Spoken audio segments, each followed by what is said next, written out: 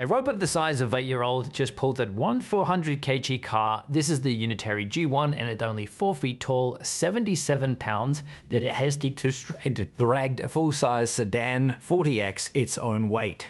The part everyone getting wrong, the strength isn't even the impressive part. The car is on wheels, physics makes that doable.